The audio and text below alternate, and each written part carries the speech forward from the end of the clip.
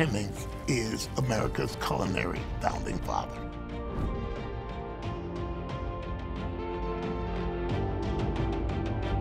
Okay. Good afternoon, everyone. My name is Norman Carter, representing Big Gold Belt Media. Uh, very pleased and honored to be joined today by two great men, uh, Chef Anthony Werhun and also the amazing Chef Ashbell McElveen. Thank you all so much for taking the time to spend with us today. And as we were discussing before we came on, got a chance to actually watch you all's documentary that you did. James Hemings, Ghosts in America's Kitchen, it is now streaming globally. I recommend anybody who is watching now, if you have not done so, to go and see it. It is an hour's worth of amazing information about, honestly, the first, the father of American culinary cuisine and pretty much the first cooking school and a lot of first tenants. So, gentlemen, both thank you for your time. I want to know what what to what went into taking this from an idea to a finished product.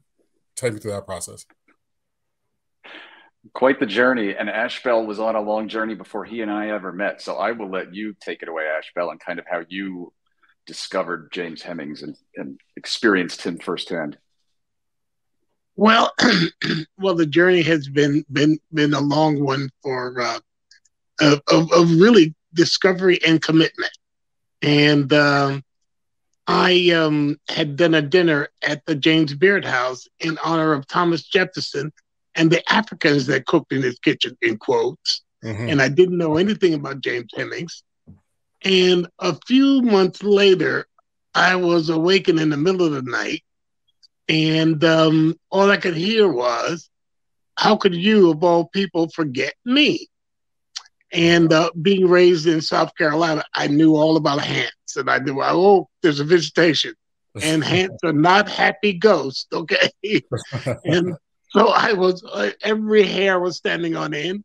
And it took me a, a, a, month or so to figure out what had happened. And um, I started that journey on discovery of who this person was.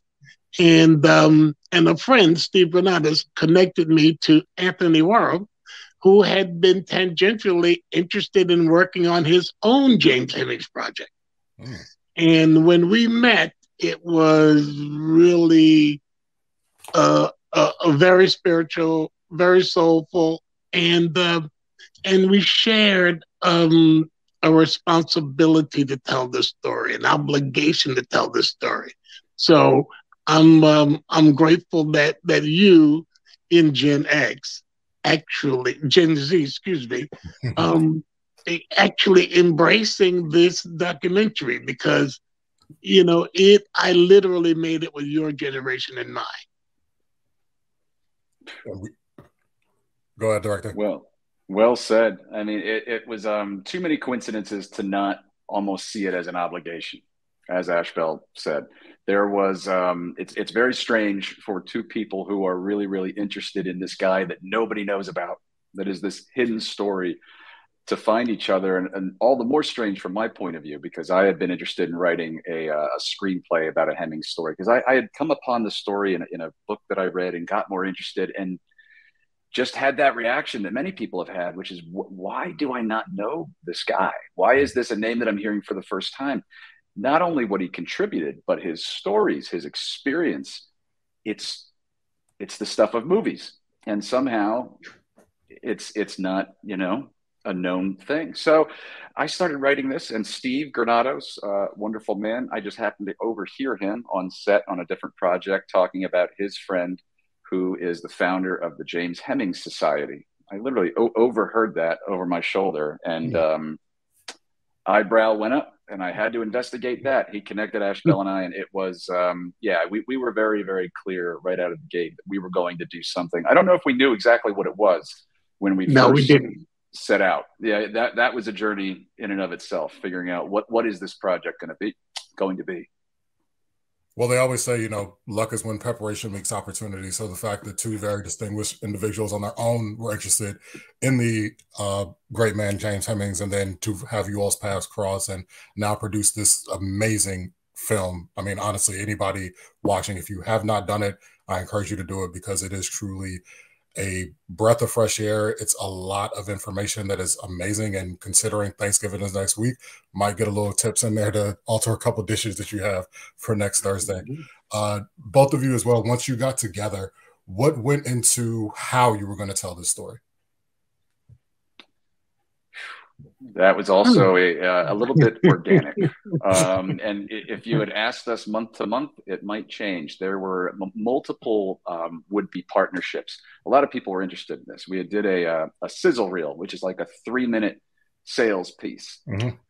And we would kind of craft what exactly we were selling based on the audience. So if it was a, you know a production company who had history doing docu series, yep, that's what it is. If it was somebody who yeah. wanted to have a, a scripted show, that's what it was. And everybody was interested, but they could, I could just sense there was this fear, there was this trepidation to go all in. We would get right there, it, nobody would pass on it, but it would just sort of sit on the vine. And I think we realized that we had to to save our own lives, as Ashbell likes to say, yeah. and sort of take yeah. destiny in our own hands. And had the means to do it. So why don't we, you know, let's do other interviews. Let's sit down with Therese Nelson and Tanya Hopkins and Heather Johnston, you know, in, in, in Brooklyn and talk to them. These are other great culinary minds, thought leaders um, who know about James Hemings and are involved in the, the James Hemings Society.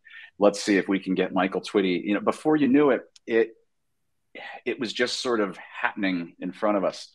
And um, it was tough because we don't have any visuals of James. We don't have the ability to lean on stock footage or old old photographs or writings. So we just sort of had to find a way visually. And luckily, in the food world, that does kind of mm-hmm. Uh, come naturally. There is always a visual element to food um, to sort of populate this film without being able to just do see and say and showing the, the the times and the people that we're talking about. But I think all of that worked because of storytellers like Ashbell, like all the folks who are are in the film, it's it's their voices. It's coming through their emotions, and I think that's why it works.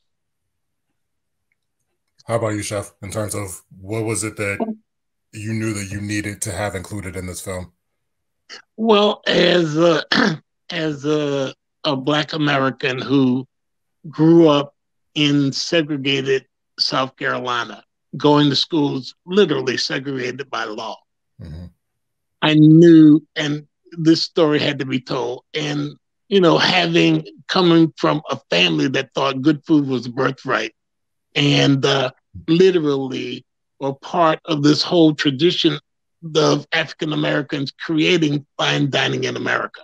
So I literally grew up with the people in my family. My mother was working chef when she passed away.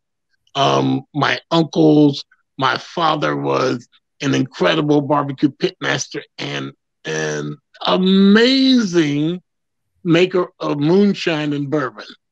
uh, so I got I got the spirits on one side from my father and and also the barbecue, but from my mother I got really fine cooking and what was considered just Southern cooking. Um, long before the term soul food, um, mm-hmm. which didn't come into play until James Brown made the song "I'm Black and I'm Proud." uh, so to actually highlight James Hemings' story, which is just amazing in itself, that he went to France at age 19. I also went to France at age 19 as an exchange student. So I identified with with him learning the language, etc. But you know, I, I was just an academic, a student. He literally went to be trained first by a caterer, Combeaux, and then later at the Chateau Chantilly, where the food was considered better than the food at Versailles, better than the King's table. Oh wow! And and as Jacques Pepin points out in the movie, um, it took him eight years to become a master chef in French cuisine, but it took James Hemings a year and a half. Wow. And uh, and that just pointed out all of these amazing attributes that this young black man had, and particularly in a place like France that was that was foreign, new language, new customs, and um, he mastered all of them. When he when he uh, finished his training at the Chateau Chantilly, he took over Thomas Jefferson's um, kitchen as the chef, and he supervised a staff of ten French-speaking people, and uh, and became the first American to cook at a diplomatic embassy. And uh, and did he wow? He wowed the French um, guests at Jefferson's English only soirees in Paris. And um, and to have that resonance and uh, in having so little um, written about him, um, I, I literally had to be uh, the the young kid sitting in a black barbershop on a Saturday afternoon. so you know you're going to hear all kinds of stories. Yeah. And and I and all you had to do was listen, and you would hear eventually the truth. but eventually in a roundabout way. Right. And and so I looked at the historic writings and and and even the the the writings and interviews that have been done of of um, former enslaved people, and uh, and I could only I I heard it as if I was in a barbershop, mm-hmm. and so I immediately understood their pain and their struggle, and that is one thing that that created the debt um, that both Anthony and I both felt was a debt of obligation that this story had to be told, and uh, and so that's really the the bulk of of how the film happened. And uh, as Anthony was saying, we got lots of interest, um, and you know we we had the you know an investor who wanted to put in, you know, a bulk of money, 160 grand, but didn't, you know, was not a right fit mm-hmm. for what we were trying to do. And so we were able to just walk away from that, which is like, oh, well, you're just, you're walking away from 160 grand. Right. Well, we were blessed enough to have people like Steve Granados and and and and many others who donated their time, their expertise, and and and pure hard cash to um to kind of make it happen. And and Anthony can talk about the technical folk that that literally just gave a day's work, you know, when they're when they're billing, you know, two grand a day, and they're like, no, no, no, we're gonna we're gonna make sure this happens. Mm-hmm that's amazing. Oh, and it's, it's um, amazing. It really humbling. is. Yeah. Yeah. So it, Anthony and, can speak a little bit more about that.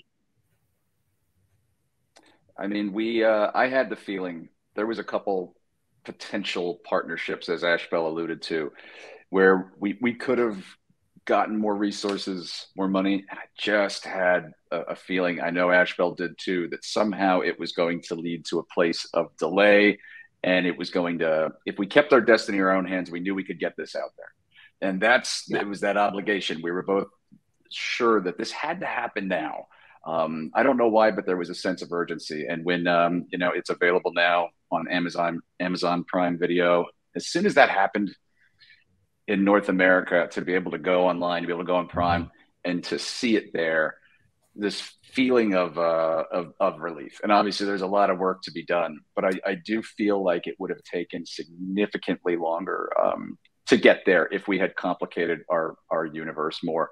And yeah, people like Mitch Martinez, Paul Bradburn, Dave DeLizza, Xavier Taylor, Gloria Lewis, Bill German. There's a lot of people along the way who were incredibly kind. Tommy Frakovich, um, who yes, just they got it too, which I think helped us. It encouraged us that other people sort of felt that spiritual push too, because people won't always do that just because you have a, a passion project. But mm. there really were um, some some some angels along the way that helped us get there. And you know now it's marching towards uh, international release release which rolls out um, on the 21st of this month november 21st it's in the uk and various other countries and over the next couple of weeks almost worldwide. So it's it's a little bit different country to country but various platforms and uh, if anybody who's looking for it I'm, I'm confident they'll find it which is really really exciting. You know it took a while to get here. And i think it's great when stories that are long overdue of being told finally you start to see the green lights all line up and then you eventually see a finished product. Was there a moment that either of you either shared with one another or kind of knew internally as you were working through it where you were like all right this is it. We got the angle. We got it. Like what was take me through what that was like when you knew that you were then on the path to getting this thing out there. Mine was South Carolina, Ashbell. I don't know about you, but that that's that's that's when I knew we we were there. Yeah, I, I South Carolina was an emotional uh, journey, and um, definitely the tipping point for me too, because I, uh, you know, while we were there shooting, had the pleasure of shooting with my mother's old friend, 93 year old Mr. Oh, wow. Uh, wow. Mr. Jerry Williams. Mr. Jerry. And he remembered, he said, Oh, what I gave you your first job at 10 years old. I had no I had no clue. Oh, I had wow. forgotten all about that. But he relayed to me um, instances of my mother and the respect she had in kitchens as a young as a young woman um, from older black cooks and he said that's what made him pay attention to her because an old uh, lady came up to her in the kitchen and said, Would you taste this, please, and tell me if it's okay? he said that he was so shocked. He said, I had to know who that was. And I was so happy to discover that part of, of her because she died so young. Mm-hmm. And the day that we were at her uh, gravesite searching for her grave, and Anthony found the grave. And of, of course, I was so emotional at that point. Mm-hmm. and um, and blessed to just have somebody like him there, who's also a very spiritual person. And I'll never forget the prayers that he just held me and offered. And there was another lady there too who offered prayers.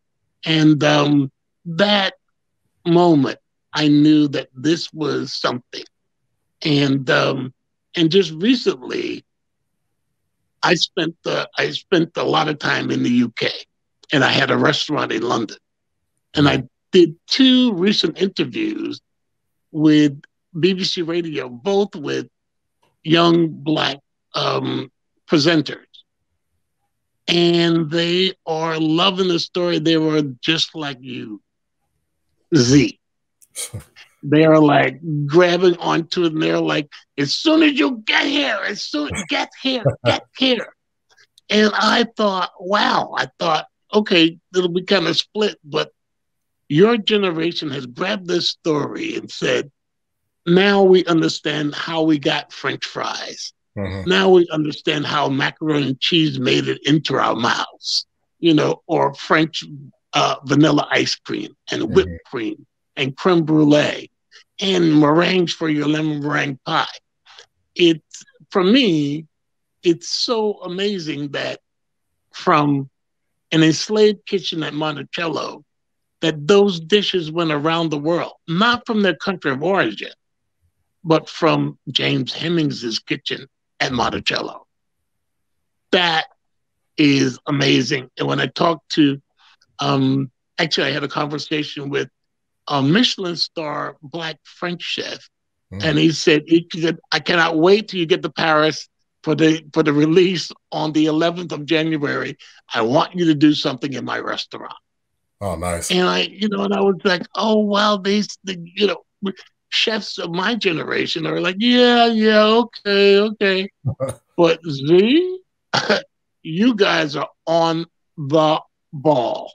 Okay. And I I salute you.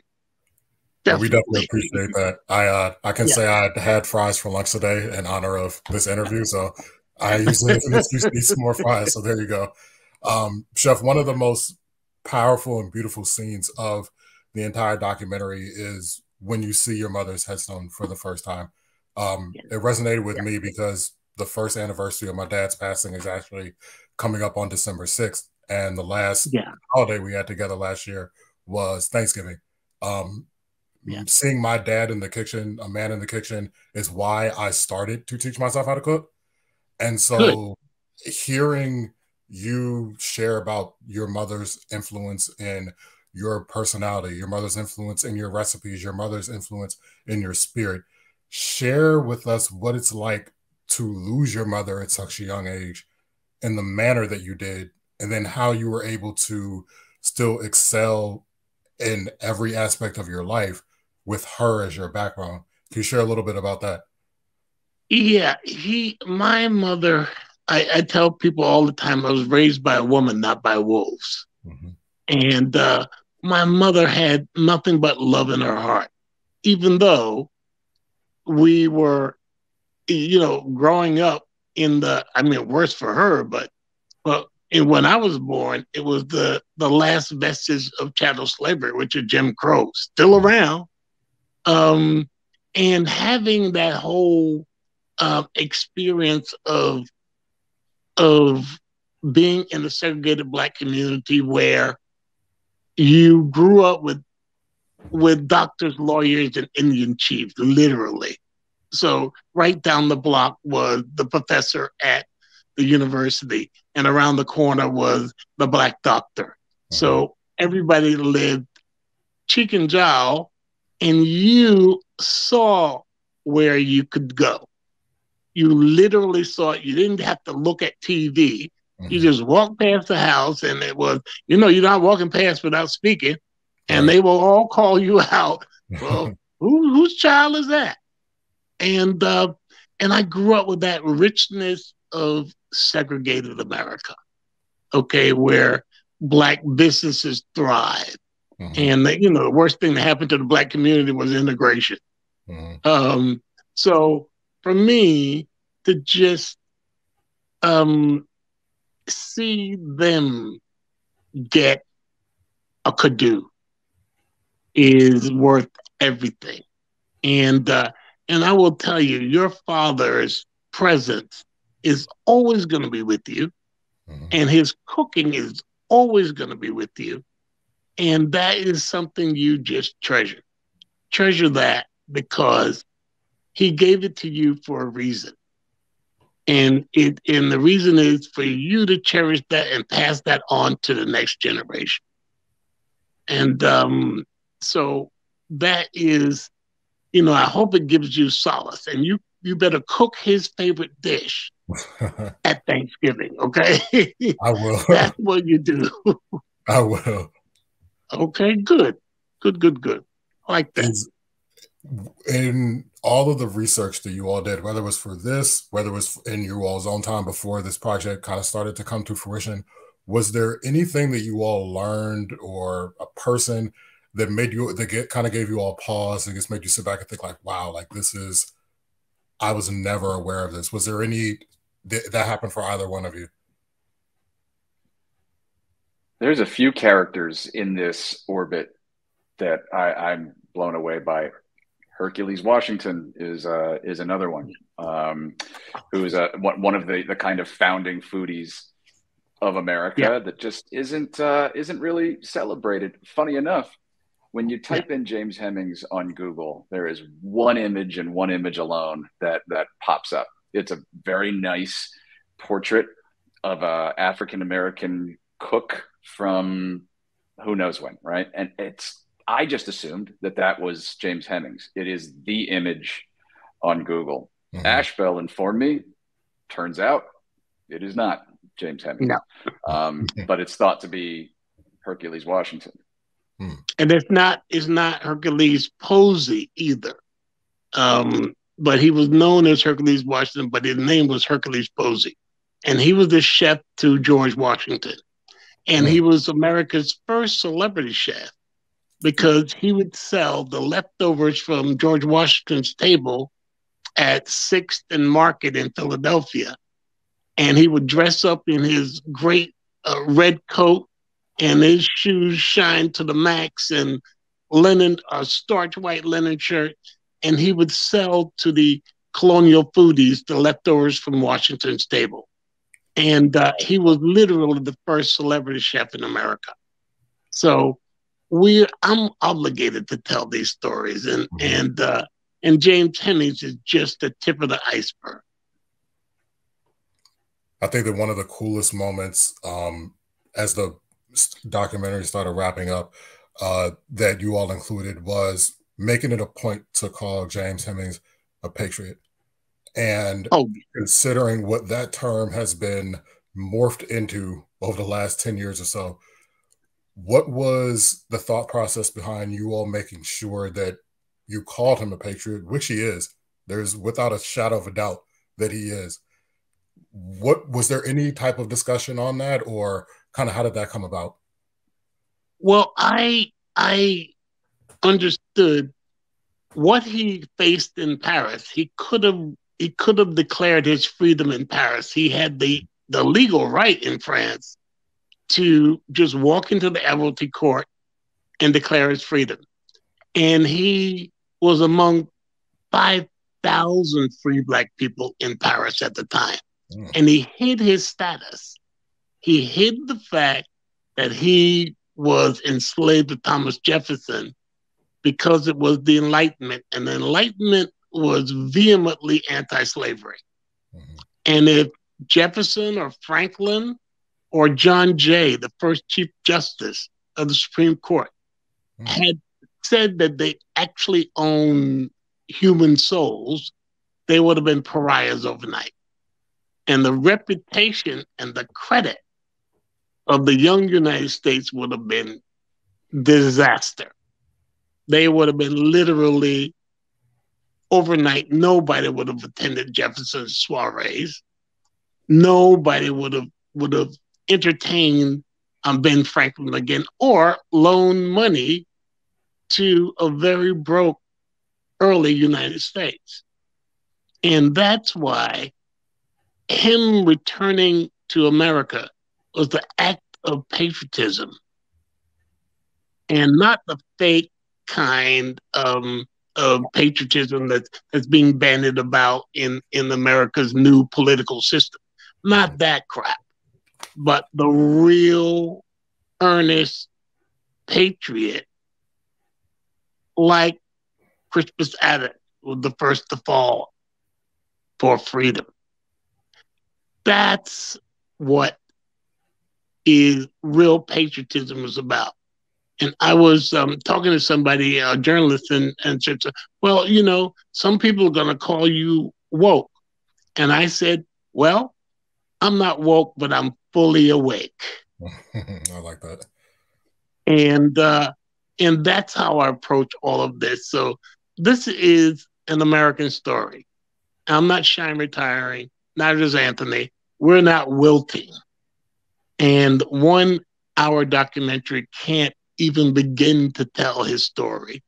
So I've been working on the James Hemings in Paris TV series. Oh, wow. And um, and the follow up to this trilogy, which is A Patriot's Return to Slavery. So definitely Ghost in America's Kitchen is a must see so that you actually get prepped for what's coming.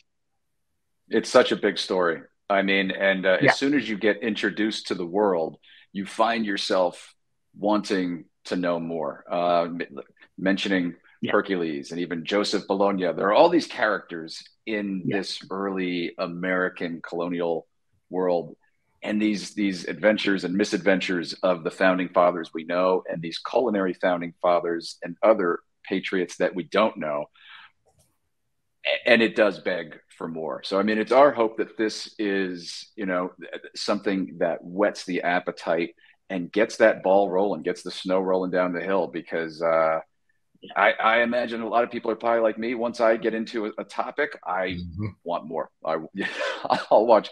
I'll watch eight different documentaries on, on, or shows on a single subject once once I'm in, and um, I, I, do hope that this uniquely textured history um, takes people where it where it took us.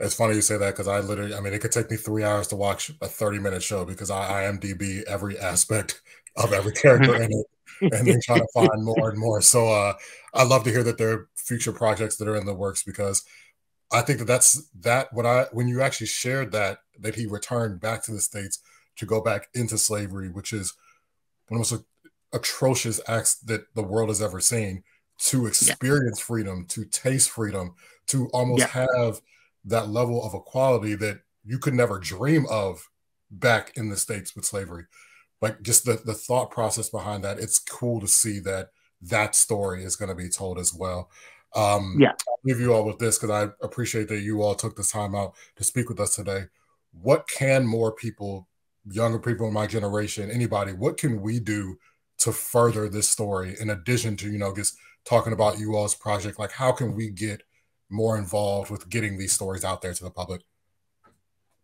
Well, there's a there's a mac and cheese competition on uh, Instagram that um, that's just leading up to the holidays. So people that like you that are cooking, you definitely need to to join onto that on Instagram.